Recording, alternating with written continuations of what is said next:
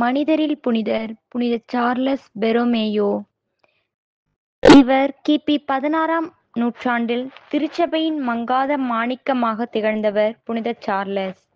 இவரது காலத்தில் திருச்சபையின் பெரிய சீர்திருத்தங்கள் இன்றியமையாதது தேவைப்பட்டன. இவற்றை பெருமளவில் செயல்படுத்தி இவர் வெற்றி கண்டார். தம் மறை மாநிலமான மிலானின் ஆண்மை ஈடேற்ற அலுவலில் இரவு பகலாக திருத்தெந்தின் சங்கத்தை புதுப்பித்து இறுதியில் ஒரு நல்ல முடிவுக்கு கொண்டுவர அரும்பாடுபட்டார் அப்போது திருத்தந்தையாக இருந்த நான்காம் பத்திநாதருக்கு சங்கத்தை திறமையுடன் நடத்துவதற்கு பெரிதும் உதவி புரிந்தார்.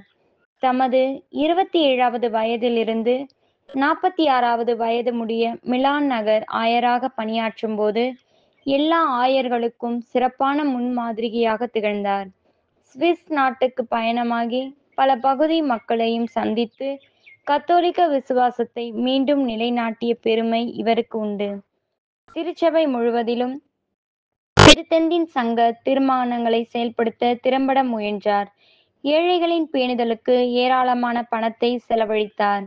தம்மை பொறுத்தமட்டில் கடுமையான எளிமை தனத்தில் வாழ்ந்தார்.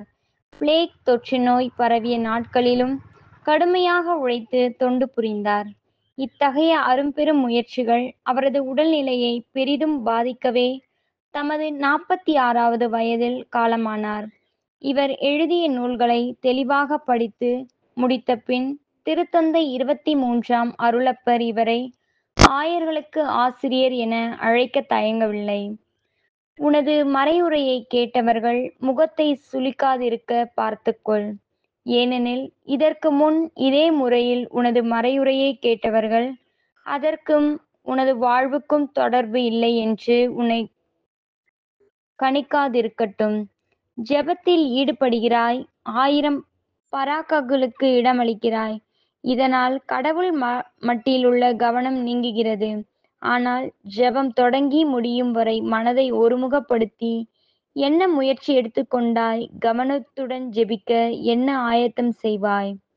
ஆன்ம ஈடேற்ற அலுவலை முதன் முதலாக உணர்ந்த ஆன்மாவின் மீது அக்கறையற்றவனாயிராதே. உனது ஆன்மாவை தவிர்க்க விட்டுவிட்டு பிற ஆன்மாக்களின் மீது அக்கறை கொள்ளாதே.